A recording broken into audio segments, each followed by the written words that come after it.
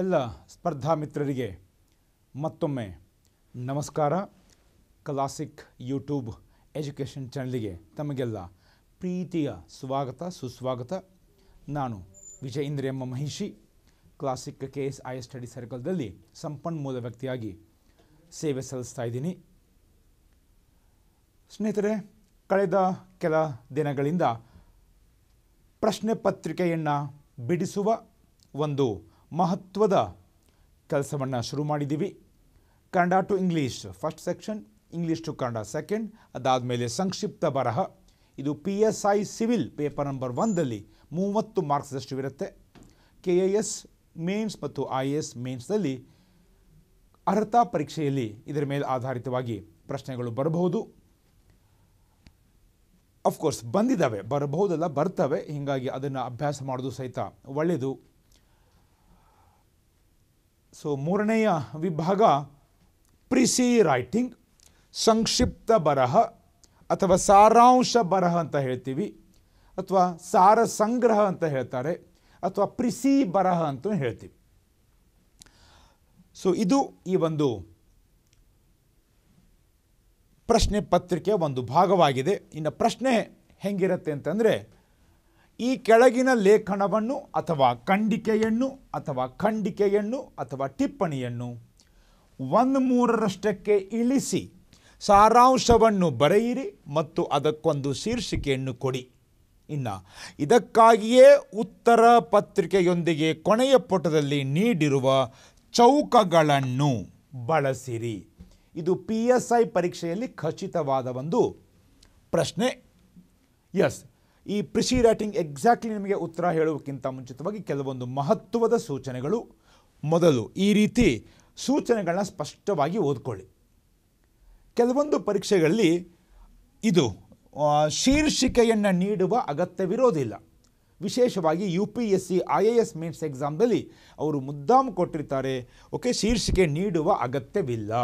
ಇನ್ನು K A S ಎಕ್ಸಾಮ್ದಲ್ಲಿ mains ಎಕ್ಸಾಮ್ದಲ್ಲಿ ಅಗೇನ್ ಸೂಚ ಸೂಚನೆಗಳು ನೋಡ್ಕೊಳ್ಳಿ. ಶೀರ್ಷಿಕೆ ಕೊಡಬೇಕಾಗಿದ್ದರೆ ಮಾತ್ರ ಕೊಡುವಂಥದ್ದು. ಇನ್ನು ಪಿ ಎಸ್ ಐ ಪತ್ರಿಕೆಯಲ್ಲಿ ಅದಕ್ಕೆ ಪ್ರಿಂಟೆಡ್ ಬಾಕ್ಸ್ ಆನ್ಸರ್ ಶೀಟ್ ಕೊಡ್ತಾರೆ. ಪ್ರಿಂಟೆಡ್ ಬಾಕ್ಸ್ ಆನ್ಸರ್ ಶೀಟ್ ಅಂದರೆ ಚೌಕಳಿಗಳಿರುವ ಮುದ್ರಿತ ಉತ್ತರ ಪತ್ರಿಕೆ. ಅದನ್ನೇ ಬಳಕೆ ಮಾಡಬೇಕು. ಇನ್ನು ಅದನ್ನು ಹೆಂಗೆ ಬಳಕೆ ಮಾಡಬೇಕು? ಈ ಬಾರಿ ಸಾಕಷ್ಟು ಬಾರಿ ಹೇಳಿದ್ದೀನಿ ಮತ್ತೊಮ್ಮೆ ರಿಪೀಟ್ ಮಾಡ್ತೀನಿ.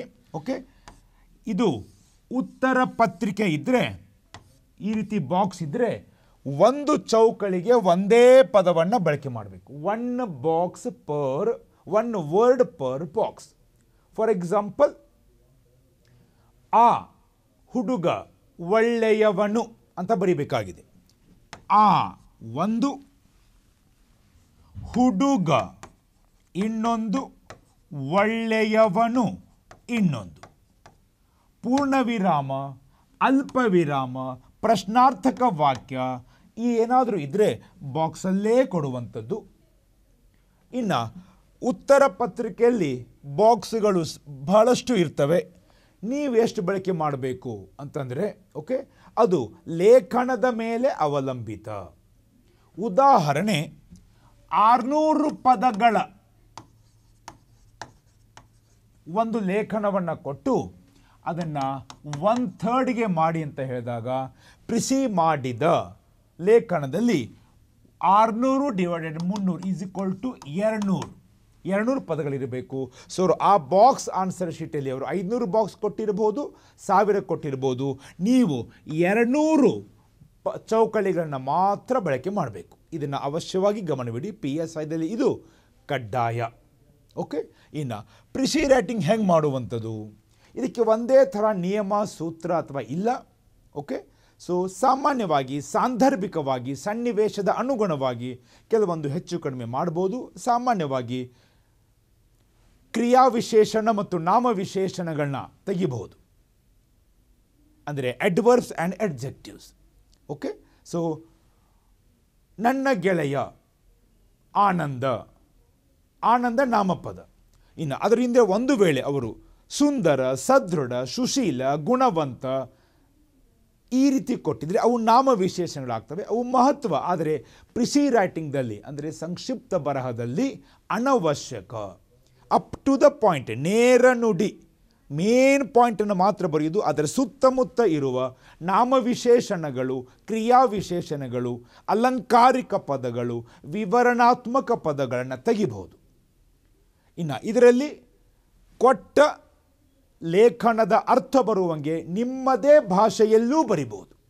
ಅಲ್ಲಿರುವ ಕೆಲ ಪದಗಳನ್ನ ಇಂಪಾರ್ಟೆಂಟ್ ಮಾಡಿ, ಆ ಪದಗಳನ್ನ ಬಳಕೆ ಮಾಡಿ ನಿಮ್ಮದೇ ಆದ ವಾಕ್ಯವನ್ನು ಅವಶ್ಯವಾಗಿ ಮಾಡ್ಬೋದು. ಅದೇ ಅರ್ಥ ಬರಬೇಕು, ಅದೇ ಕಾಲದಲ್ಲಿ ಇರಬೇಕು ಟೆನ್ಸ್ ಅದೇ ಇರಬೇಕು.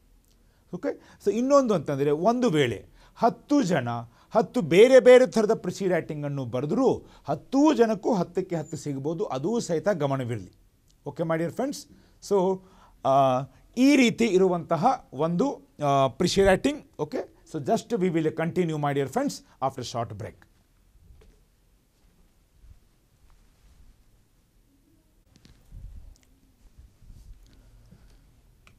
yes my dear friends so ಕೊಟ್ಟ ಲೇಖನವನ್ನು ಒಂದು ಮೂರಾಂಶಕ್ಕೆ ನಾವು ಮಾಡಬೇಕು. ಹೀಗಾಗಿ, ಸುತ್ತಮುತ್ತಲಿರುವ ಅಥವಾ ಅಲಂಕಾರಿಕ ಪದಗಳು ನಾಮವಿಶೇಷಣಗಳು ಕ್ರಿಯಾ ವಿಶೇಷಣಗಳು ವಿವರಣಾತ್ಮಕ ಪದಗಳು. ಪದೇ ಪದೇ ಬಂದ ಪದಗಳನ್ನ ತೆಗೆದು ಅಪ್ ಟು ದ ಪಾಯಿಂಟ್ ಬರೆಯುವುದೇ ಪ್ರಿಸಿ ರೈಟಿಂಗ್ ಒಂದು ಉದಾಹರಣೆ. ಆ ಓಟಗಾರ ಅಭ್ಯಾಸ ಮಾಡಿ ನಿರಂತರವಾಗಿ ಓಡಿ ಓಡಿ ಅಭ್ಯಾಸ ಮಾಡಿ ಕೊನೆಗೂ ಓಡುವ ಸ್ಪರ್ಧೆಯಲ್ಲಿ ಮೊದಲನೆಯ ಸ್ಥಾನವನ್ನು ಗಳಿಸಿದ. ಈ ವಾಕ್ಯವನ್ನು ಕೊಟ್ಟಾಗ ಇದರ ಮುಖ್ಯ ಅಂಶ ಏನು ಸ್ನೇಹಿತರೆ ಆ ಸ್ಪರ್ಧಾರ್ಥಿ ಮೊದಲ ಅಥವಾ ಆ ಓಟಗಾರ ಮೊದಲ ಶ್ರೇಣಿಯಲ್ಲಿ ಅಥವಾ ಮೊದಲ ಸ್ಥಾನವನ್ನು ಪಡೆದ. ಓಕೆ ಹೆಂಗೆ ಪಡೆದ? ಅದು ಮಹತ್ವದ್ದು. ಆದರೆ ಇಲ್ಲಿ ಅನವಶ್ಯಕ. ಹೀಗಾಗಿ ಮೈ ಡಿಯರ್ ಫ್ರೆಂಡ್ಸ್ ಅಲಂಕಾರಿಕ, ನಾಮವಿಶೇಷಣ, ಕ್ರಿಯಾವಿಶೇಷಣ ಪದಗಳನ್ನ ತೆಗೆದು ನೇರವಾಗಿ ಇಡುವುದೇ ಪ್ರಿಸಿ ರೈಟಿಂಗ್ ಓಕೆ ಸೊ ಏನು ಮಾಡ್ಬೋದು? ಫಸ್ಟ್ ಆಫ್ ಆಲ್ ಒಂದು ನಿಮಗೆ ಹೇಳ್ತೀನಿ my dear friends precis writing ಕೊಟ್ಟ ತಕ್ಷಣ sentence to sentence one third ಮಾಡಬೇಕಾಗಿಲ್ಲ. ವಾಕ್ಯದಿಂದ ವಾಕ್ಯಕ್ಕೆ ಒನ್ ಥರ್ಡ್ ಮಾಡಬೇಕಾಗಿಲ್ಲ. ಕೆಲವು ಸಂದರ್ಭಗಳಲ್ಲಿ ಅದು ಆಗೋದೂ ಇಲ್ಲ. ಓಕೆ ಮೊದಲೇ ವಾಕ್ಯ ಹಾಗೆ ಇಡಬೇಕಾಗಬಹುದು. ಇದ್ದಂಗೆ ಇಡ್ತೀವಿ, ಏನೂ ಕಡಿಮೆ ಮಾಡಿಲ್ಲ.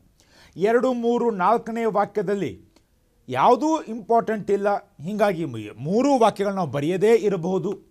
ಐದು, ಆರು, ಏಳು, ಎಂಟು ವಾಕ್ಯಗಳನ್ನು ಸೇರಿ ಒಂದೇ ವಾಕ್ಯ ಮಾಡ್ಬೋದು. ಅದಕ್ಕೆ ಪ್ರ, ಪ್ರಥಮವಾಗಿ ನೀವು ಮಾಡಬೇಕಾದದ್ದು ಕ್ವಶನ್ ಪೇಪರ್ ಕೊಟ್ಟ ತಕ್ಷಣ ಪ್ರಿಶಿ ರೈಟಿಂಗ್ನ ಲೇಖನವನ್ನು ಕನಿಷ್ಠ ಒಂದು ಬಾರಿ, ಸ್ವಲ್ಪ ವೇಗ ಜಾಸ್ತಿ ಮಾಡ್ಕೊಳ್ಳಿ, ಎರಡು ಬಾರಿ ಓದಿ. ವರ್ಡ್ಸ್ ಕೌಂಟ್ ಮಾಡಿ. ಒನ್ ಥರ್ಡ್ ಎಷ್ಟಾಗುತ್ತೆ ಕೌಂಟ್ ಮಾಡಿ. ರಫ್ ಸ್ಪೇಸ್ ಇರುತ್ತೆ. ಪೆನ್ಸಿಲ್ದಿಂದ ಆ ಪ್ಯಾರಾಗ್ರಾಫಿನ ಒಂದೊಂದು ವಾಕ್ಯವನ್ನು ಓದ್ತಾ ಓದ್ತಾ ಬೇಕಾಗುವ ಪದಗಳನ್ನ ಪೆನ್ಸಿಲ್ದಿಂದ ಸೂಕ್ಷ್ಮವಾಗಿ ರಫ್ ಸ್ಪೇಸಲ್ಲಿ ಬರೀತಾ ಹೋಗಿ. ಬೇಕಾಗತ್ತೆ ಅಂಬುದನ್ನು ಬರೀರಿ, ಬೇಡವಾಗದನ್ನು ಬಿಟ್ಟುಬಿಡಿ ಇನ್ನು ಕೆಲವೊಂದು ಡೌಟ್ ಇರುತ್ತೆ, ಬೇಕಾಗಬಹುದು, ಬೇಡವಾಗಬಹುದು ಅಂಥವು ಆ ಆ ಕ್ಷಣಕ್ಕೆ ಆ ಪದವನ್ನು ಡಾಟೆಡ್ ಲೈನ್ ಹಾಕ್ಕೊಳ್ಳಿ ವೇಟಿಂಗ್ ಲಿಸ್ಟ್ ಈ ರೀತಿ ಇಡೀ ಪ್ಯಾರಾಗ್ರಾಫನ್ನು ಮಾಡಿ ವರ್ಡ್ಸ್ ಕೌಂಟ್ ಮಾಡಿ. ಒಂದು ವೇಳೆ ಮುನ್ನೂರು ಪದಗಳು ಕೊಟ್ಟಿದ್ರೆ ಅದರ ಒನ್ ಥರ್ಡ್ ಮಾಡಬೇಕಾಗಿದೆ. ಉದಾಹರಣೆ, ನಮಗೆ ಹಂಡ್ರೆಡ್ ಬೇಕಾಗಿದೆ. ನೀವು ರಫಲ್ಲಿ ಬರೆದಿರೋ ಪದಗಳು ಹಂಡ್ರೆಡೇ ಆಯಿತಾ? ಬಾಕ್ಸ್ ಆನ್ಸರ್ ಶೀಟಲ್ಲಿ ಬರೀಲಿಕ್ಕೆ ಶುರು ಮಾಡ್ಕೊಬೇಡಿ. ನೀಟಾಗಿ ಬರೀಬೇಕು. ಅಲ್ಲಿ ಕರೆಕ್ಷನ್ಸು ಓವರ್ ರೈಟಿಂಗು ಅಯ್ಯೋ, ಎರಡು ಪದಗಳ ನಡುವೆ ಈ ಪದ ಸೇರಿಸಬೇಕಾಗಿತ್ತು. ಅದಕ್ಕೆ ರಫ್ ವರ್ಕ್ ಮಾಡ್ಕೊಳ್ಳಿ. ಓಕೆ ರಫ್ ವರ್ಕನ್ನು ಒಂದು ಏಳು ನಿಮಿಷ ಮಾಡ್ಕೋಬೋದು, ಎಂಟು ನಿಮಿಷ ಫೇರ್ ವರ್ಕ್ ಹದಿನೈದು ನಿಮಿಷದಲ್ಲಿ ಸ್ವಲ್ಪ ಮನ ಪ್ರಾಕ್ಟೀಸ್ ಮಾಡಿ ಮಾಡ್ಬೋದು ಓಕೆ ಸೊ ಒನ್ನೂರು ಪದಗಳು ಬೇಕಾಗಿದೆ ಅಂತ ತಿಳ್ಕೊಳ್ಳಿ. ನೀವು ಒನ್ನೂರು ಪದ ಆಗಿದೆ ಓಕೆ ಆವಾಗ ಶುರು ಮಾಡ್ಕೊಬಿಡಿ. ಒನ್ನೂರ ಒಂದಾಗಿತ್ತು ಯಾವ ಪದ ತೆಗಿಬೋದು? ತೊಂಬತ್ತೊಂಬತ್ತಾಗಿದ್ದು ಆ ಡಾಟೆಡ್ ಲೈನ್ ಪದವನ್ನು ಸೇರಿಸಬೇಕು ಹೆಂಗೆ? ಇದೆಲ್ಲ ನಾವು ರಫ್ ಸ್ಪೇಸಲ್ಲಿ ಮಾಡಿಕೊಂಡು ಎಷ್ಟು ಬೇಕಾಗಿದೆ ಅಷ್ಟೇ ಪದಗಳನ್ನ ಕೌಂಟ್ ಮಾಡಿ ಪೆನ್ಸಿಲಿಂದ ರಫ್ ಸ್ಪೇಸಲ್ಲಿ ಬರೆದಿರೋ ಪದಗಳನ್ನ ಕೌಂಟ್ ಮಾಡಿ, ಆಮೇಲೆ ಫೇರ್ ಬಾಕ್ಸ್ ಆನ್ಸರ್ ಶೀಟ್ಗೆ ಎಂಟ್ರಿ ಮಾಡ್ತಾ ಇರಿ okay this is one of the best method okay so ನಿಮ್ಮ ಅನುಕೂಲಕ್ಕಾಗಿ ಈಗ ನಾ ನಿಮಗೆ ಒಂದು ಪ್ಯಾರಾಗ್ರಾಫ್ ತೋರಿಸ್ತಾ ಇದ್ದೀನಿ, ಪರಿಸರದ ಬಗ್ಗೆ ಓಕೆ ಅಲ್ಲಿ, ಬೇಕಾದ ಪದಗಳನ್ನು ನೀಲಿ ಬಣ್ಣದಿಂದ ಗುರುತು ಮಾಡಿದ್ದೀನಿ ಓಕೆ ಇದು ಮೊದಲು ಪೂರ್ತಿಯಾದ ಪ್ಯಾರಾಗ್ರಾಫ್ ಆಮೇಲೆ ಒನ್ ಬೈ ಒನ್ ನಿಮಗೆ ಹೇಳ್ತಾ ಹೋಗ್ತೀನಿ ಓಕೆ ಫಸ್ಟ್ ಪೂರ್ತಿ ಪ್ಯಾರಾಗ್ರಾಫ್ ಓದ್ಕೊಳ್ಳಿ, ಸ್ನೇಹಿತರೆ. ಎಲ್ಲಿ ಪರಿಸರ ಸಮೃದ್ಧಿಯಾಗಿದೆಯೋ ಅಲ್ಲಿ ಜೀವನವು ಸಮೃದ್ಧಿಯಾಗಿರುತ್ತದೆ. ಎಲ್ಲಿ ಪ್ರಕೃತಿ ನಾಶವಾಗಿರುತ್ತದೆಯೋ ಅಲ್ಲಿ ಜೀವನ ಕ್ರಮವೂ ನಾಶವಾಗಿರು, ನಾಶಗೊಂಡಿರುತ್ತದೆ. ಪರಿಸರ ನಮ್ಮ ಸಂಪನ್ಮೂಲ ಮಾತ್ರವಲ್ಲ, ನಮ್ಮ ಜೀವಮೂಲವೂ ಹೌದು. ಯಾವುದು ಅಲ್ಲ ಬಿಟ್ಬಿಡ್ಬೋದು. ಯಾವುದು ಹೌದು, ಅದನ್ನು ನಾವು ಬರಿಬೇಕಾಗುತ್ತೆ. ಗ್ರೀಕ್ ಭಾಷೆಯಲ್ಲಿ ಇಕೋ, ಓಕೆ, ಅವರು ಎರಡು ಕೊಟ್ಟಿದ್ದಾರೆ, ನಾವು ಒಂದೇ ಬರಿಬಹುದು. ಶಬ್ದಕ್ಕೆ ಮನೆ ಎಂಬ ಅರ್ಥವಿದೆ. ಇದನ್ನು ಸೆಂಟೆನ್ಸ್ ಬೈ ಸೆಂಟೆನ್ಸ್ ನಿಮಗೆ ಪ್ರಾಕ್ಟೀಸ್ ಮಾಡಿಸ್ತೀನಿ, ವಿವರಣೆ ಕೊಡ್ತೀನಿ. ನಾವು ವಾಸಿಸುವ ಪರಿಸರವೇ ನಮ್ಮ ಮನೆ ಎಂಬ ಕಲ್ಪನೆ ಇದರಲ್ಲಿ ಅಡಗಿದೆ. ವಿಶಾಲಾರ್ಥದಲ್ಲಿ ಇಡೀ ಬ್ರಹ್ಮಾಂಡವೇ ನಮ್ಮ ಪರಿಸರದ ವ್ಯಾಪ್ತಿಯಲ್ಲಿ ಬರುತ್ತದೆ. ಭೌತಿಕ ಮತ್ತು ಜೈವಿಕ ಪರಿಸರವನ್ನೊಳಗೊಂಡ ಜೀವಗೋಳದ ಅಧ್ಯಯನ ಇಕಾಲಜಿ ಪದದ ವ್ಯಾಪ್ತಿಯಲ್ಲಿದೆ. ಜೀವವಿಜ್ಞಾನದ ಹಾಗೂ ಸಮಾಜ ವಿಜ್ಞಾನಗಳ ನೆರವಿನಿಂದ ಪರಿಸರ ಸಂರಕ್ಷಣೆಗಾಗಿ ಹಾಗೂ ಸಂಶೋಧನೆಯ ಉದ್ದೇಶಗಳಿಗಾಗಿ ಪರಿಸರ ವಿಜ್ಞಾನ ಹುಟ್ಟಿಕೊಂಡಿದೆ. ಸೌರಮಂಡಲದಲ್ಲಿ ಜೀವಿಗಳನ್ನು ಹೊಂದಿರುವ ಏಕೈಕ ಗ್ರಹವೆಂದರೆ ಭೂಮಿ. ವೈಜ್ಞಾನಿಕ ಸಿದ್ಧಾಂತಗಳ ಪ್ರಕಾರ ಸುಮಾರು ಮುನ್ನೂರು ಮಿಲಿಯನ್ ವರ್ಷಗಳ ಹಿಂದೆ ಈ ಗ್ರಹದಲ್ಲಿ ಮೊಟ್ಟ ಮೊದಲು ಜೀವಿಗಳು ಬೆಳವಣಿಗೆಯಾದವು. ನಿಧಾನವಾಗಿ, ನಿರಂತರವಾಗಿ ವಿವಿಧ ರೀತಿಯ ಭೌತಿಕ ಅಂಶಗಳಿಂದ ಈ ಜೈವಿಕ ಲೋಕದಲ್ಲಿ ಜೀವ ವಿಕಾಸವಾಗಿದೆ okay this is what has been given ನಿಮ್ಮ ಅನುಕೂಲಕ್ಕೆ. Okay one by one sentence ನಿಮಗೆ ಹೇಳ್ತಾ ಹೋಗ್ತೀನಿ. ಹಿಂಗೇ ಮಾಡಬೇಕಂತಿಲ್ಲ. I am giving you one sample answer one best ಮಾದರಿ ಉತ್ತರ ಕೊಡ್ತಾ ಇದ್ದೀನಿ. ನೀವು ಬೇರೆ ಥರನೂ ಅವಶ್ಯವಾಗಿ ಬರಿಬೋದು, ಅದೇ ಅರ್ಥ ಬರಬೇಕು, ಅದೇ ಟೆನ್ಸಲ್ಲಿ ಇರಬೇಕು. ಓಕೆ ಇದಕ್ಕಿದೇ ನಿರ್ದಿಷ್ಟ ಉತ್ತರ ಅಂತ ಇಲ್ಲ. This is one of the the best answer ಅಂತ ಹೇಳ್ಬೋದು. ಮೊದಲೇ ವಾಕ್ಯ ಏನಿದೆ ಸ್ನೇಹಿತರೆ? ಎಲ್ಲಿ ಪರಿಸರ ಸಮೃದ್ಧಿಯಾಗಿದೆಯೋ, ಅಲ್ಲಿ ಜೀವನೂ ಸಮೃದ್ಧಿಯಾಗಿರುತ್ತದೆ. ಎಲ್ಲಿ ಪ್ರಕೃತಿ ನಾಶವಾಗಿರುತ್ತದೆಯೋ ಅಲ್ಲಿ ಜೀವನ ಕ್ರಮವೂ ನಾಶವಾಗಿರುತ್ತದೆ ಈ ಪದದಲ್ಲಿ ಒಂದು ವಿಶಿಷ್ಟವಾದ ವಾಕ್ಯ ಇದೆ. ಅಂದರೆ ಎರಡು ಜೊತೆ ಜೊತೆಯಾಗಿ ಸಾಗ್ತಾ ಇದ್ದಾವೆ ಎಂಬ ಭಾವನೆ. ಅಭ್ಯಾಸ ಮಾಡಿದರೆ ಪಾಸ್ ಆಗುತ್ತಾನೆ, ಅಭ್ಯಾಸ ಮಾಡದೇ ಇದ್ದರೆ ಫೇಲ್ ಆಗುತ್ತಾನೆ. ಪಾಸ್ ಆಗುವುದು ಅಭ್ಯಾಸ ಮಾಡುವುದು ಜೊತೆ ಜೊತೆಗೆ. ಹೌದಾ? ಸೊ ಈ ರೀತಿ ಆ ಎರಡು ಜೊತೆ ಜೊತೆಯಾಗಿ ಸಾಗುತ್ತವೆ ಅಂತ ಇದು ಅನುಭವದಿಂದ ಬರುವಂಥದ್ದು. ಓದಿ ಓದಿ ಅನುಭವ ಆದಾಗ ಈ ಒಂಥ ಇಂತಹ ಪದಗಳು, ಇಂಥ ವಾಕ್ಯಗಳು ನಮಗೆ ಬರ್ತವೆ. ಅದು ನಾವಿಲ್ಲಿ ಹೇಳ್ಬೋದು. ಮುಂದೆ ಏನು ಹೇಳ್ತಾರೆ? ಪರಿಸರ ನಮ್ಮ ಸಂಪನ್ಮೂಲ ಮಾತ್ರವಲ್ಲ. ಅದು ಅದು ಅಲ್ಲ, ಬಟ್ ಏನಿದೆ? ನಮ್ಮ ಜೀವ ಮೂಲವೂ ಹೌದು. ಇಲ್ಲದ್ದು ಬಿಟ್ಟುಬಿಡಿ ಇದ್ದದ್ದು ಮಾತ್ರ ಬರೆಯುವಂಥದ್ದು.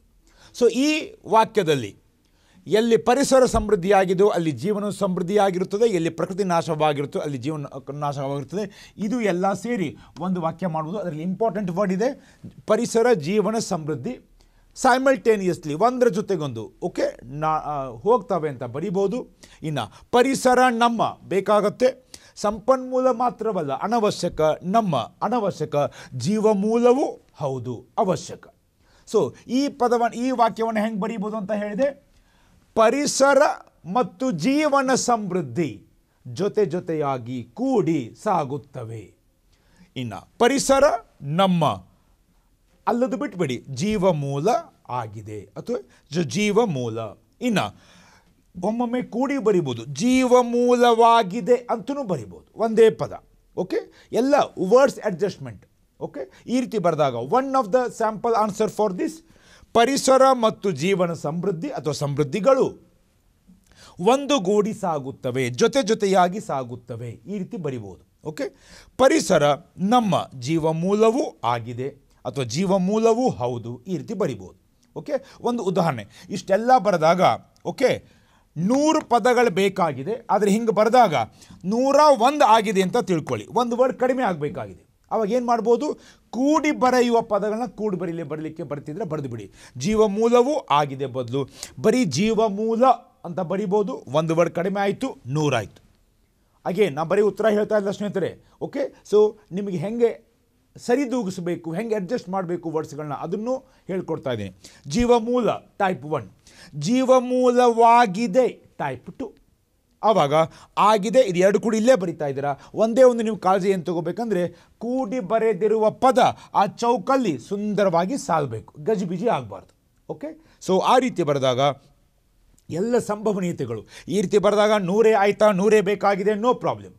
ಆದರೆ ನೂರು ಬೇಕಾಗಿದೆ ಆದರೆ ನೂರ ಒಂದು ಆಗಿದೆ, ಒಂದು ವರ್ಡ್ ಕಡಿಮೆ ಆಗಬೇಕಾಗಿದೆ. ರಫಲ್ಲಿ ಮಾಡಿದಾಗ ಬರೋ ಜಾಗದಲ್ಲಿ ನಾವು ಈ ರೀತಿ ಮಾಡಿದಾಗ ಒಂದು ವರ್ಡ್ ಜಾಸ್ತಿ ಆಯಿತು. ಆವಾಗ ಜೀವಮೂಲ ಫುಲ್ ಸ್ಟಾಪ್ ಅಥವಾ ಜೀವಮೂಲವಾಗಿದೆ. ಓಕೆ ಸೊ ಈ ರೀತಿ ಬರೆದಾಗ, ಈ ರೀತಿ ಮಾಡಿದಾಗ ನಮಗೆ ಎಷ್ಟು ಪದಗಳು ಬೇಕು, ಅಷ್ಟೇ ಪದಗಳ ಸಂಕ್ಷಿಪ್ತ ಬರಹವನ್ನು ನಾವು ಅವಶ್ಯವಾಗಿ ಮಾಡ್ಬೋದು. ಓಕೆ ಸೊ ಈ ರೀತಿ ಮಾಡಿದಾಗ ಪರಿಸರ ಮತ್ತು ಜೀವನ ಸಮೃದ್ಧಿ ಒಂದುಗೂಡಿ ಸಾಗುತ್ತವೆ ಮತ್ತು ಪರಿಸರ ನಮ್ಮ ಜೀವ ಮೂಲವೂ ಆಗಿದೆ. ಸೊ ಇದಕ್ಕೆ ಬಹಳ ಮಹತ್ವ ಕೊಟ್ಟಿದ್ದಾರೆ. ಎನ್ವಿರಾನ್ಮೆಂಟ್ ಈಸ್ ವೆರಿ ಇಂಪಾರ್ಟೆಂಟ್ ಅಂತ ಹೇಳುವಂತಹ ಒಂದು ಲೇಖನ. ಇನ್ನು ಆ ಒಂದು ಲೇಖನದ ಎರಡನೆಯ ವಾಕ್ಯ, ಗ್ರೀಕ್ ಭಾಷೆಯಲ್ಲಿ ಇಕೋ ಶಬ್ದಕ್ಕೆ ಮನೆ ಎಂಬ ಅರ್ಥವಿದೆ. ನಾವು ವಾಸಿಸುವ ಪರಿಸರವೇ ನಮ್ಮ ಮನೆ ಎಂಬ ಕಲ್ಪನೆ ಇದರಲ್ಲಿ ಅಡಗಿದೆ. ವಿಶಾಲಾರ್ಥದಲ್ಲಿ ಇಡೀ ಬ್ರಹ್ಮಾಂಡವೇ ನಮ್ಮ ಪರಿಸರದ ವ್ಯಾಪ್ತಿಯಲ್ಲಿ ಬರುತ್ತದೆ. ಒಂದು ಅರ್ಥ ಕೊಟ್ಟಿದ್ದಾರೆ. ಮತ್ತಿನ್ನೊಂದು ವಿಶಾಲಾರ್ಥದಲ್ಲಿ. ಯಾವುದಾದ್ರೂ ಒಂದು ಅರ್ಥ ಸಾಕು. ಹೀಗಾಗಿ ಇದು ಅನವಶ್ಯಕ. ಅನವಶ್ಯಕ ಇದನ್ನು ಬ್ರ್ಯಾಕೆಟಲ್ಲಿ ಹಾಕೋಬೋದು. ಓಕೆ? ಅಥವಾ ಅವಶ್ಯಕ ಇದನ್ನು ನಾವು ರಫ್ ಸ್ಪೇಸಲ್ಲಿ ಬರ್ಕೋಬೋದು. ಇಲ್ಲಿ ಅವಶ್ಯಕ ಯಾವುದು? ಗ್ರೀಕ್, ಅದರ ಮೂಲ. ಇನ್ನು ಗ್ರೀಕ್ ಒಂದು ಭಾಷೆ ಇರೋದ್ರಿಂದ ಓಕೆ ಸೊ ಗ್ರೀಕ್ನ ಇಕೋ, ಯಾವ್ದಾದ್ರು ಬಂದು ಇಂಗ್ಲೀಷ್ ಅಥವಾ Kannada latest take Kannada. Eco ಶಬ್ದಕ್ಕೆ ಅರ್ಥವಿದೆ. ಯಾವ ಅರ್ಥವಿದೆ? ಮನೆ ಎಂಬ ಅರ್ಥವಿದೆ. ಅದ್ರ ಪ್ರಕಾರ ಏನು? ಪರಿಸರವೇ ನಮ್ಮ ಮನೆ ಓಕೆ ಈ ಪದಗಳು, ಬೇಕಾಗಿರೋ ಪದಗಳು ಯಾವ್ಯಾವು? ಗ್ರೀಕ್ ಇಕೋ ಶಬ್ದಕ್ಕೆ ಅರ್ಥವಿದೆ. ಪರಿಸರ ನಮ್ಮ ಮನೆ. ಈ ಪದಗಳಿಂದ ವಾಕ್ಯ ಹೆಂಗೆ ಮಾಡ್ಬೋದು? ಇಲ್ಲಿ ನೋಡಿ. ಪ, ಗ್ರೀಕ್ನ ಇಕೋ ಶಬ್ದದ ಅರ್ಥದ ಪ್ರಕಾರ ಇಡೀ ಪರಿಸರವೇ ನಮ್ಮ ಮನೆಯಾಗಿದೆ. ಎಲ್ಲ ಸೇರಿ ಕಂಬೈನ್ ಮಾಡಿ ಬರಿಬೋದು. ಓಕೆ ಗ್ರೀಕ್ನ ಎಕೋ ಶಬ್ದದ ಅರ್ಥದ ಪ್ರಕಾರ ಇಡೀ ಪರಿಸರವೇ ನಮ್ಮ ಮನೆ ಆಗಿದೆ ನಮ್ಮ ಮನೆ, ನಮ್ಮ ಮನೆಯಾಗಿದೆ. ಇನ್ನು ಆ ರೀತಿ ಬರೆದಾಗ ಇನ್ನೊಂದು ವರ್ಡ್ ಜಾಸ್ತಿ ಆಗಬೇಕಾಗಿದೆ. ನಮ್ಮ ಮನೆ ಆಗಿದೆ. ಮನೆ ಅಂತ ಬರಿಬೋದು, ಮನೆಯಾಗಿದೆ, ಇದು ಒಂದೇ ವರ್ಡು ಮನೆ ಆಗಿದೆ ಬರೆದಾಗ ಎರಡು ವರ್ಡ್ಸ್ ಓಕೆ ಸೊ ಈ ರೀತಿ ಬರೆದಾಗ ಟೈಪ್ ಒನ್ ಗ್ರೀಕ್ನ ಇಕೋ ಶಬ್ದದ ಅರ್ಥದ ಪ್ರಕಾರ ಪರಿಸರವೇ ನಮ್ಮ ಮನೆಯಾಗಿದೆ. Okay this is one type okay ಇನ್ನು ಈ ರೀತಿ ಬರೆದಾಗ ಮತ್ತೊಮ್ಮೆ ಹೇಳ್ತಾ ಇದ್ದೀನಿ ಸ್ನೇಹಿತರೆ ನೂರು ಪದಗಳು ಬೇಕಾಗಿದೆ. ಒಂದು ಲ್ಯಾಂಡ್ಮಾರ್ಕ್ ತಗೊಳ್ಳಿ. ಒಂದು ಉದಾಹರಣೆ. ಈ ರೀತಿ ಬರೆದಾಗ ನೂರಾಗಿದೆ ನೂರ ಆಗಿದೆ ನೋ ಪ್ರಾಬ್ಲಮ್ ಆದರೆ ತೊಂಬತ್ತೊಂಬತ್ತಾಗಿದೆ, ನಮಗೆ ನೂರು ಬೇಕಾಗಿದೆ. ಆವಾಗ ಮನೆ ಆಗಿದೆ. ಕೂಡಿ ಬರೆಯುವ ಪದಗಳನ್ನೂ ನಾವು ಆ ತಂತ್ರವನ್ನು ಅರ್ಥ ಮಾಡ್ಕೋಬೇಕು. ವಿಭಜಿಸಿ ಬರೆಯುವ ತಂತ್ರವನ್ನು ಅರ್ಥ ಮಾಡ್ಕೋಬೇಕು. ಆ ರೀತಿಯಾದಾಗ ಮನೆ ಆಗಿದೆ. ಅವಾಗ ಒಂದು ವರ್ಡ್ ಜಾಸ್ತಿ ಆಯಿತು ನೂರಾಗುತ್ತೆ ಈ ರೀತಿ ಸರಿದೂಗಿಸುವ ಅಡ್ಜಸ್ಟ್ ಮಾಡುವ ಸ್ವಭಾವನ ಒಂದು ತಂತ್ರವನ್ನು ಅವಶ್ಯವಾಗಿ ಪ್ರಾಕ್ಟೀಸ್ ಮಾಡ್ಕೊಳ್ಳಿ. Okay so what is a final precis writing ಗ್ರೀಕ್ನ eco ಶಬ್ದದ ಪ್ರಕಾರ. ಈ ಎರಡು ಬರೆಯೋ ಕಾರಣ ಇಲ್ಲ. ಒಂದೇ ಬರೆದ ಸಾಕು. ಇಕೋ ಶಬ್ದದ ಅರ್ಥದ ಪ್ರಕಾರ ಪರಿಸರವೇ ನಮ್ಮ ಮನೆಯಾಗಿದೆ.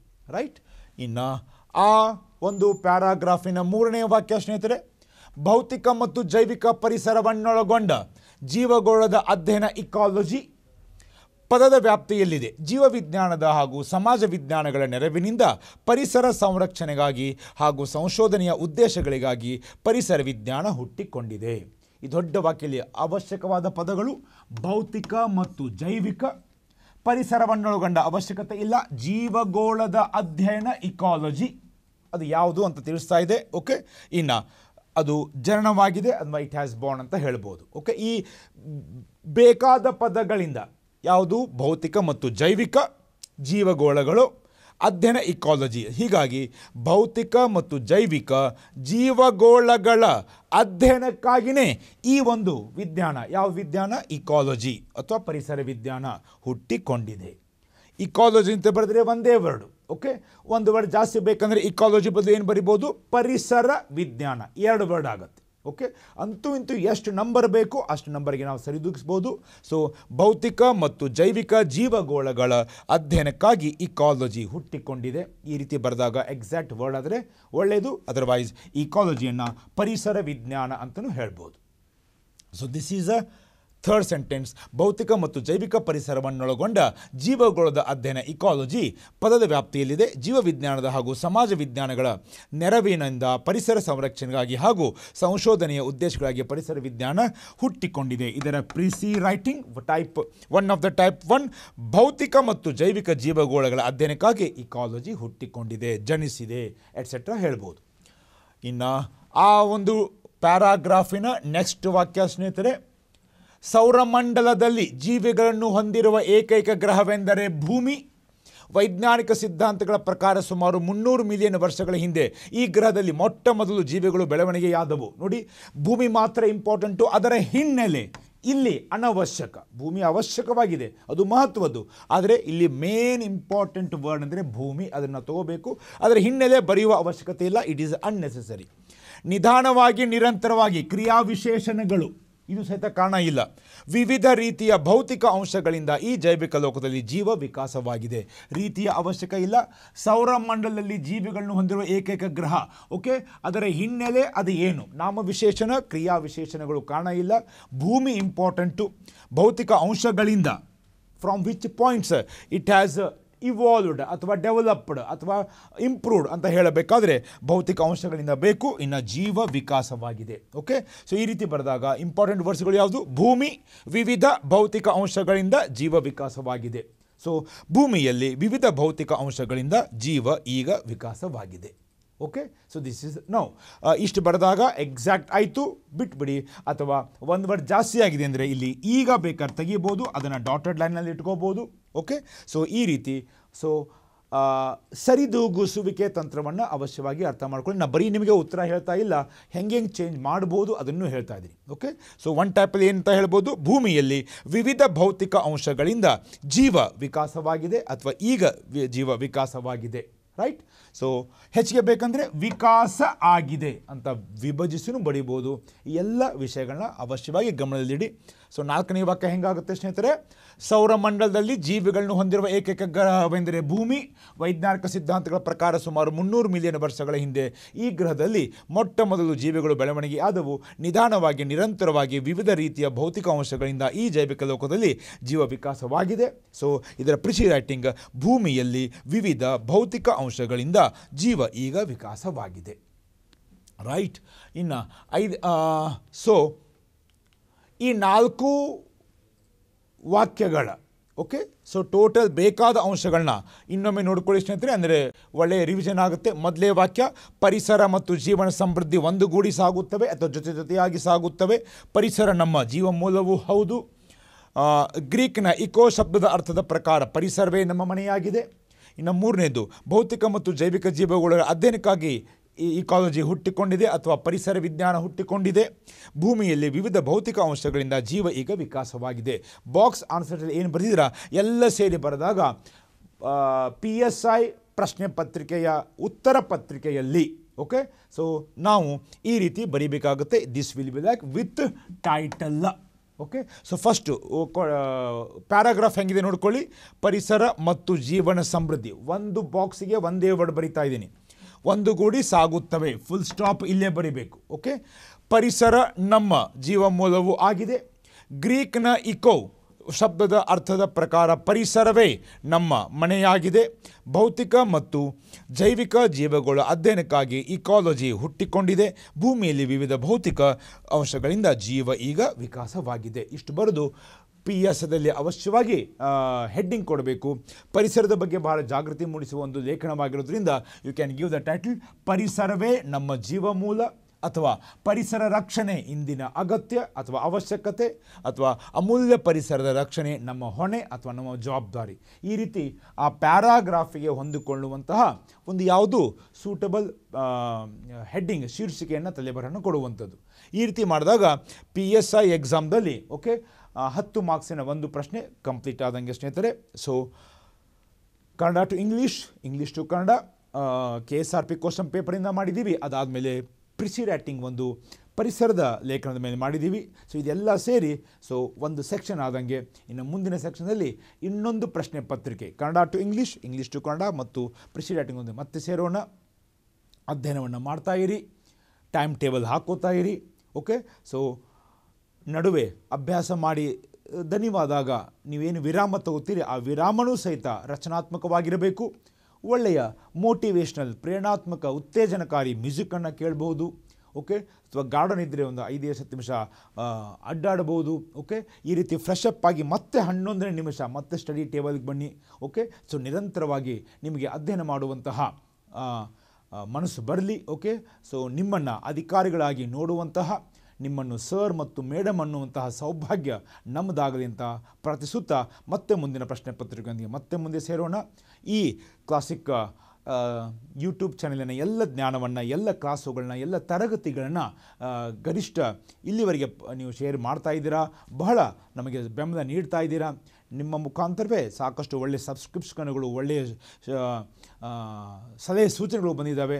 ಆ ಒಂದು ನಿಮ್ಮ ಸಲಹೆ ಸೂಚನೆಗಳು, ನಿಮ್ಮ ಅಪ್ರಿಸಿಯೇಷನ್ಗಳು ನಿಮ್ಮ ಪ್ರಶಂಸನೀಯ ಪದಗಳು, ಕೆಲವೊಂದು ಕಾಮೆಂಟ್ಸ್ಗಳು ನಮ್ಮನ್ನು ಮತ್ತೆ ನಿಮಗೆ ಪಾಠ ಮಾಡೋಕ್ಕೆ ಸ್ಫೂರ್ತಿಗೊಳ್ತವೆ ಸ್ನೇಹಿತರೆ ಓಕೆ ಸೊ ಹೀಗಾಗಿ ಶಿಕ್ಷಕರಿಗೆ ಬೆಸ್ಟ್ ಮೋಟಿವೇಟರ್ ಅಂದರೆ ವಿದ್ಯಾರ್ಥಿಗಳು. ಹೀಗಾಗಿ ಸೊ ಒಬ್ಬರನ್ನೊಬ್ಬರು ಅರ್ಥ ಮಾಡಿಕೊಂಡು ಒಂದು ಒಳ್ಳೆಯ ಜೀವನದತ್ತ, ಒಳ್ಳೆಯ ಭವಿಷ್ಯದತ್ತ, ದೇಶ ಸೇವೆಯತ್ತ ಸಾಗೋಣ ಅಂತ ಹೇಳ್ತಾ ಈ ಒಂದು ಉಜ್ವಲವಾದ ಪ್ಲಾಟ್ಫಾರ್ಮ್ ಒಂದು ವೇದಿಕೆಯನ್ನು ಕೊಟ್ಟಂತಹ ನಮ್ಮ ನಿರ್ದೇಶಕರು ಶ್ರೀ ಲಕ್ಷ್ಮಣ್ ಉಪ್ಪಾರ್ ಸರ್ ಅವರಿಗೂ ಇಡೀ ಯೂಟ್ಯೂಬ್ ಮ್ಯಾನೇಜ್ಮೆಂಟ್ ಅವರಿಗೂ ಮತ್ತು ಎಲ್ಲ ಸಿಬ್ಬಂದಿಯವರಿಗೂ ಓಕೆ ನೋಡಿ, ಬಹಳ ಜನರ ಇದರಲ್ಲಿ ಕೆಲಸ ಇರುತ್ತೆ. ಇದನ್ನು ಡಿ ಟಿ ಪಿ ಮಾ ಟೈಪ್ ಮಾಡಿದವರು, ಅದನ್ನು ಅಡ್ಜಸ್ಟ್ ಮಾಡಿದವರು ಓಕೆ ಸೊ ಬಹಳ ಜನರ ಕೆಲಸ ಇರುತ್ತೆ. ಸೊ ಅದಕ್ಕೆ ನಮ್ಮ ನಿರ್ದೇಶಕರು ಹೇಳ್ತಿರ್ತಾರೆ team work is very important so ಆ ಟೀಮ್ ವರ್ಕ್ ಮಾಡಿದ ಎಲ್ಲ ಕ್ಲಾಸಿಕ್ ಸಿಬ್ಬಂದಿಯವರೆಗೂ ಆ್ಯಂಡ್ ಅದು ಸಕ್ಸಸ್ ಆಗಬೇಕು, ಯಶಸ್ಸು ಆಗಬೇಕಂದ್ರೆ ನೀವು, ನಿಮಗೆ ನಮ್ಮ ಧನ್ಯವಾದಗಳನ್ನ ಹೇಳಿ ಮತ್ತೆ ಮುಂದಿನ ಕ್ಲಾಸಲ್ಲಿ ಬನ್ನಿ. ಹೆಚ್ಚಿಗೆ ಅಧ್ಯಯನ ಮಾಡಿ, ಹೆಚ್ಚಿಗೆ ಜ್ಞಾನವನ್ನು ಪಡೀರಿ ಅಂತ ಹೇಳ್ತಾ ಮತ್ತೆ ಸಿಗೋಣ. Thank you very much for watching Classic YouTube channel see you in the next class thank you very much